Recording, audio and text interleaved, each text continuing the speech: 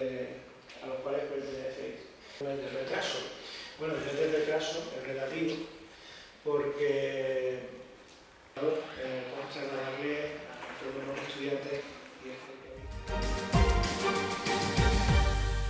Esta mañana ha tenido lugar la tradicional recepción de estudiantes de primer curso de la Universidad de Granada.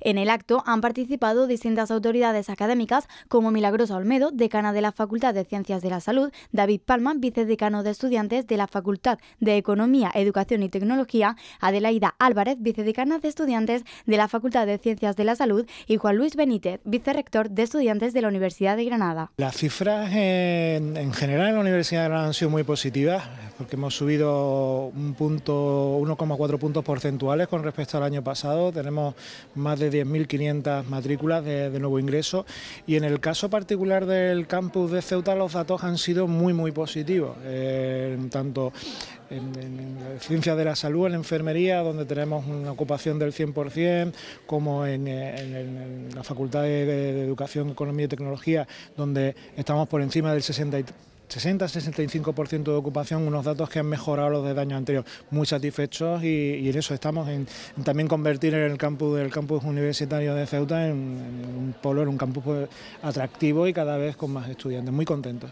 Este curso además cuenta con una novedad respecto a los estudiantes de primer año. Aprobó el año pasado es el tema de, el tema de becas donde hombre, somos conscientes de las dificultades que hay eh, para el estudiantado que viene de fuera en temas de alojamiento y temas de, manutención, entonces sí que hay una, apuesta clara por parte de la Universidad de Granada en mejorar eh, las becas para el campus de Ceuta y el campus de Melilla eh, en cuanto a estos dos, estos dos aspectos. Por su parte, el vicedecano de estudiantes de la Facultad de Economía, de Educación y Tecnología ha alardeado de que Llegamos casi a los 300 nuevos matriculados y es un, seguimos en ascenso. En estos últimos cinco años hemos aumentado la matriculación de los nuevos estudiantes y eso es una cifra que nos enorgullece, ¿no? que nos satisface mucho.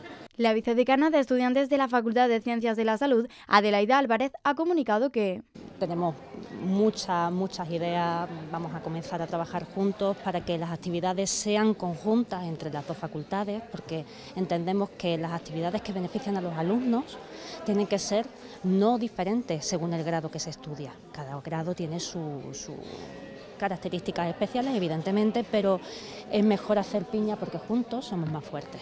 La recepción ha estado acompañada de varios stands informativos con el objetivo de dar visibilidad a sus propósitos, entre ellos un stand procedente del Punto Violeta y uno más desde la Fundación Márgenes y Vínculos. Nosotros tenemos el proyecto de prevención en abuso sexual infantil. Tenemos varios dos talleres concretos. El primero es Mi cuerpo es un tesoro, va dirigido a alumnos de tercero y cuarto de primaria lo que hacemos es ofrecerle pautas y herramientas para que puedan eh, autoprotegerse cuando no estén acompañados de, un adulto y que puedan identificar conductas sexualizadas y siempre verbalizar y contar en caso de que se encuentren en este tipo de problemática. Estos son unas guías que repartimos a los padres. Está, em, eh, enfocada a los padres, no es para los niños. Es más que nada para informarles de qué estamos llevando a cabo los talleres, cómo trabajamos con los niños, un poquito de información. Informamos un poco, que como aquí vemos eh, el nombre de Mi cuerpo es un tesoro, que es el taller que ha explicado mi compañera. Va dirigido a niños de tercero y cuarto. Y aquí pues es informativo, le informamos más o menos pues que la violencia sexual, eh, como es la educación afectivo-sexual y tal. Es solo una guía para que ellos tengan conocimiento de lo que estamos trabajando. Muchos alumnos han acudido a esa recepción a pesar de que el curso ya llevaba iniciado unas jornadas. Un grupo más de ingeniería informática está muy contento, puesto que el, el indicador eh, muestra darle a los estudiantes y es el que habéis escogido.